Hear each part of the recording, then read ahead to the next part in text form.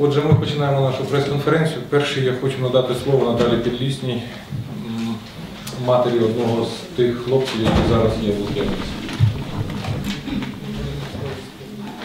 Здравствуйте. А, ну, моего сына э, забрали э, в СИЗО, судили на два месяца лишения свободы Оболонским судом сразу после событий Лукашевского. Не могла с ним связаться, и мы начали его искать. А, Я не знала, что даже что был суд, хотя, в принципе, я ну, следила за тем, когда автомайдановцев судили, ну, в тот же день было, но я не была там, и я не знала. А, Мне на следующий день позвонила жена одного из его друзей, которого тоже, Максима Головина, которого тоже забрали, А, и сказала, чтобы я зашла на сайт э, МВД, на первую страницу, и прочитала все, что касается там, все, что касается моего сына. И зашла меня, конечно, это совершенно повергло в какой-то шок, потому что то, что там было сказано, это было ну, вообще абсолютное безумие и никаким образом не соответствовало вообще моему представлению о сыне. И я понимаю, что он взрослый, отдельно живущий, и- но все равно я знаю своего сына. Он старался, он делал все, что мог для того, чтобы изменить систему. Я не думала, что все будет так несправедливо. Я прочитала э, на сайте МВД, прямо на первой странице, что задержано злочинне групування, яке займалося ставкою е, е, зброї на Майдан і, і викраденням людей. Ну, в общем, позже я узнала от адвокатов о том, что ему инкриминируют еще и э, гр- гр- развой, похищение, э, вымогательство, э, что-то там подложено. Мы тогда уже начали э, нас запугивать э, звонить о том, что будут очень серьезные проблемы. Ну, не, это не единственное, но я напугалась, что после этого через пару дней его и, кстати, вот других ребят, как я узнала, перевели на так называемые спецпосты.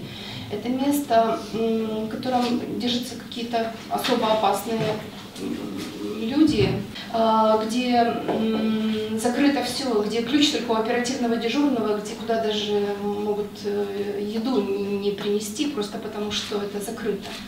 И, и эти охранники, они не в состоянии этого сделать. Понятно, что мы пытались уже там через э, знакомились с людьми в СИЗО, когда давали передачи, пытались через заключенных узнать, что, что происходит, и вообще все были в недоумении. Потом прошла амнистия, но вы знаете, как Верховная Рада проголосовала, она проголосовала, чтобы отпустили только тех, у кого массовые заворушения, а тех, кому инкриминируют что-то другое, нет. Ну и тогда мы вынуждены были обратиться в, в комитет защиты Визвали. выз- выз- комитет вызвания э, политвязнев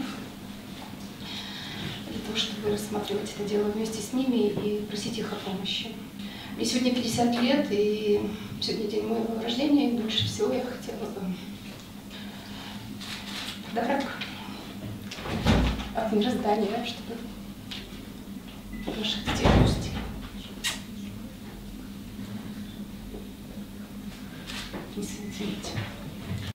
Зібрали комітет, вислухавши уважно їх, вислухавши адвоката, ми, звісно, побачили там пряму політичну складову їх затримання. Звісно, можна говорити, що вони там в чомусь зізналися, можна говорити про те, що там їх звинувачують грабіж, викрадення людини. Хоча перше звинувачення була поставка зброї на Майдан, ну, злочинне угруповання.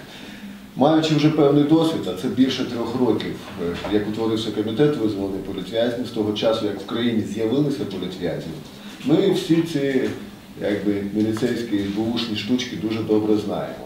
Е, Людей же ж немає в нас зараз 58 статті ворог народу. Тобто, ну, наприклад, на мені саме популярна серед політичних стаття 296 частина 2 хуліганство здійснена.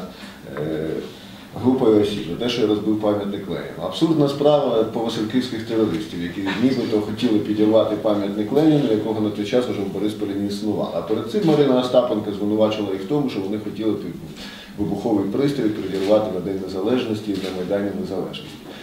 Я кажу це до того, про те, що хлопцям інкримінують. Їм інкримінувати можуть все, що завгодно. Вони можуть інкримінувати там викрадення дітей Обами. Е, І, і, в принципі, Марина Остапенко про це може абсолютно серйозним обличчям заявити. Але ми побачили, що хлопці справді боролися за цю країну. Перевірили, е, чи вони справді вони допомагали Майдану як могли. І саме за це, швидше за все, відслідкували їх машину. І їх потім взяли за те, що вони там ну, привозили все необхідне, те, що було Майдану. Звісно, навісили все на них, і от їх якби дотепер вони сидять. Всі знають про список з 23 людей, які сиділи ще до Майдану, які ми подали через депутата Рашка, комітет визволення політв'язнів, і по постанові Верховної Ради цих людей відпустили.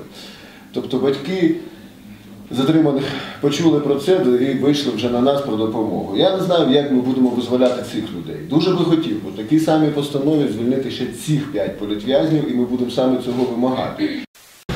Краще, я. Валя, да, срочно что-то. Давай вверх. Из людей просто вытягивают какие-то, ну, я не знаю, какие-то признательные показания.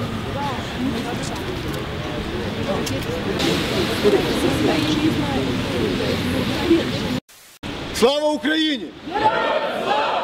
Отже, друзі, ми зібралися тут для того, аби звільнити ще п'ятьох людей, які з політичних мотивів вже й дотепер утримуються в Лук'янівському СІЗО. Це група Головіна Підлісного Олександра Македонського, ще одного хлопця е, Олександрова. І також це Анатолій Соболевський, якого вже півтора року утримують також в Лук'янівському СІЗО, який з політичних мотивів туди потрапив, будучи журналістом і викриваючи, приймаючи активну участь в компанії депутатській опозиційного депутата, викриваючи всі махінації фінансові, зокрема регіоналів. Його підставили там, інкримінують йому зберігання зброї, газового пістолета, на який в нього всі документи є. Страшно тортурували, він не визнав своєї провини, що дивно. Е, Бо я трошки знаю справи, люди зазвичай ламаються, ну потім заперечують, що їх під тортурами, але цей мужній чоловік не визнав. І зараз він також в Лук'янівському СІЗО.